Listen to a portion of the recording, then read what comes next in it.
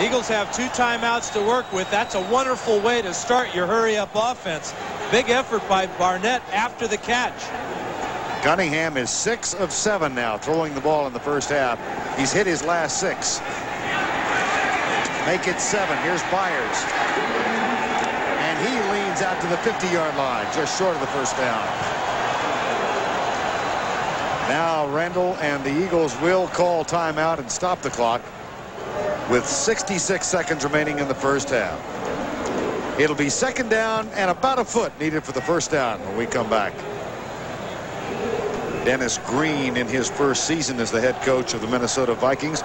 We chatted with Chris Doleman, the longtime veteran defensive end, about Dennis Green. Doleman said the thing he most appreciated about Green when he came in is the first thing he said is this is not a rebuilding year. We're going to move and not uh, overhaul everything. Second and short. Cunningham looks deep, fires deep. Incomplete for Roy Green. Speaking of veterans in this league. Now in his 14th season. That'll be third and short.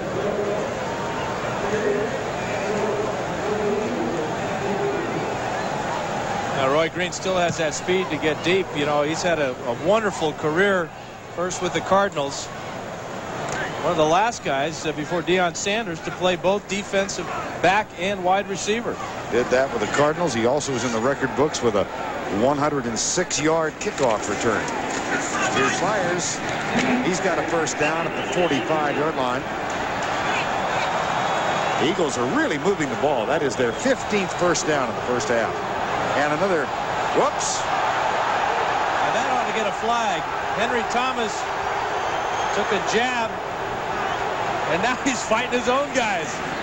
And Cunningham kills the clock with 38 seconds to go. There was no flag thrown. And there certainly was nothing offsetting about it. Upsetting, maybe. Uh, you know that this guy would be involved in it. Ron Heller. Ron Heller. Let's take a look at it.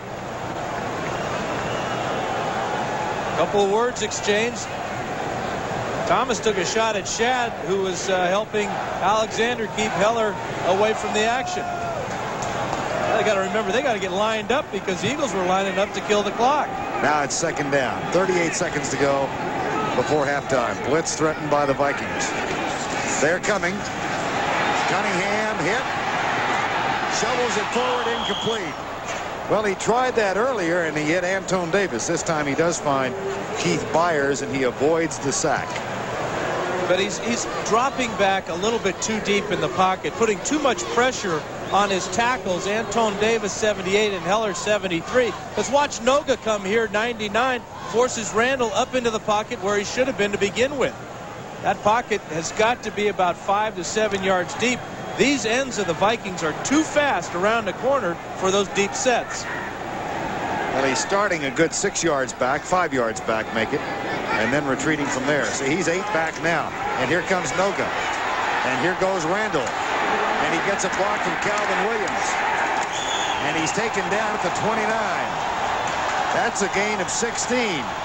And a single season high for Randall Cunningham on the ground. He's now rushed for 87 yards and a touchdown in the first half of play. It's a first down with 20 seconds to go before halftime. Eagles used their final timeout to stop the clock with 20 seconds remaining. They need to get about another 10 yards, Vern, because remember, this is a direction that is into the wind here. Reveiz in the first quarter had a uh, field goal from about this range that was short, and this would only be about a 47-yarder from this point. They need to get about another 10 yards to get Ruzek in range. Out of the shotgun again on first and 10. Four-man rush. That ball is caught in front of McMillian at the 24-yard line by Fred Barnett. And he gets out of bounds to stop the clock with 15 seconds remaining. It may be windy, but the wind is not going to affect Cunningham's passes. He's played here in the swirling winds of the vet many, many times. And the one thing he told his receivers is that I'm not going to hang it up in the air. I'm going to be throwing with a lot of zip. Make sure you get out of your brakes in a hurry and get your head around where that ball may be stuck in your ear hole.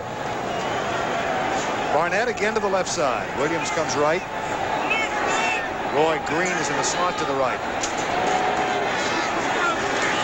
Deep left side. Incomplete intended for Barnett, who got tangled up at the 10-yard line, but uh, and that was the pass. It looked like he tried to loop it into Barnett, and the wind, uh, it appeared, kind of carried it to the outside.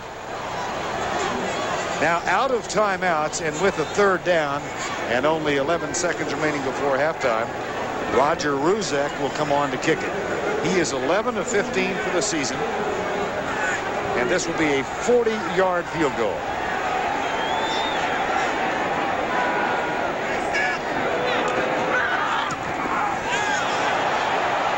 Nope. Like Fuad Reveiz, it drifts wide right. So another terrific drive for the Eagles. Winds up wide right. The wind comes into the vet uh, blowing from left to right. In this direction, it hits this far uh, grandstand and then pushes this way and then comes around. So when you're kicking to this direction, you have it at your back. What we've seen is a couple of field goals come up like this one and be pushed wide to the right. I'm not sure that uh, when this one hits the ground, it's even far enough if it had been hit straight. Very similar to the one that uh, Reveiz missed in the first quarter. And now, according to the clock, time has expired, but uh,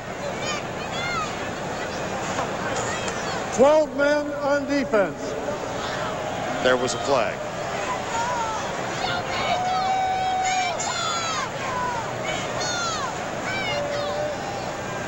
And Denny Green said, that's enough of this. Men on defense. Penalty is declined. Half is over. Philadelphia Eagles move for 159 yards of total offense. They have the lead at the end of the first half with the score Philadelphia 14, Minnesota 10.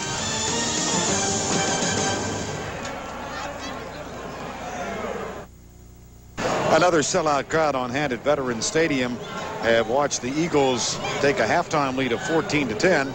Randall Cunningham with a huge first half, 181 yards of total offense, 30 of which came on this scramble that helped lead to the first touchdown of the ball game. Randall Cunningham with 87 yards rushing, and he also has a touchdown scored. It's been a big, big week for Randall, as he announced on his own television show yesterday. On Thanksgiving, I decided to get engaged and get married on uh, May the 8th, and I'm sure the cameras panned on her.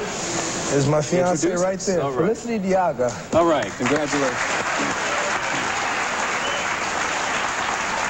Hey, you see her holding up that ring, didn't you? Absolutely. A lot of ice on that finger. Well, and Randall can pay for that. You bet. He uh, has been impressive in the first He's half. earning his money today. That first drive on the ground, but then it was the second drive that was even more impressive when he completed five straight passes and got the uh, Eagles that go-ahead touchdown. Are you surprised at how easily the offenses have been able to dictate the tempo of this ball Well, game? that's sometimes the way it is in the NFL. Uh, we talked about both defenses to begin the game and how dominant they had been. Well, the offenses hear that all week long, and it, they've risen to that old challenge deal, and have really the offensive lines have controlled for both teams. And to open the third quarter, the Eagles will return it. Jeff Sydner, five yards back. And that is the 23rd time this season that Reveiz has kicked into a touchback. At the half, statistically, Philadelphia with 16 first downs to Minnesota's seven. They also have the edge on the ground. 87 of those came from Randall Cunningham. Offensive plays 40 in the first half. So the Eagles uh, with a deserved lead right now of 18 minutes uh, in time of possession, 18 to 11, and they lead on the scoreboard 14 to 10.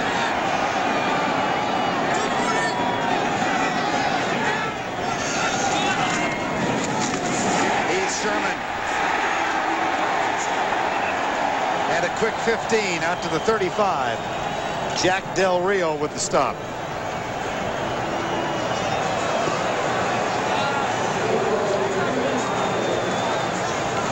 It's going to be a super block here by the left side. Watch Herschel Walker with the lead.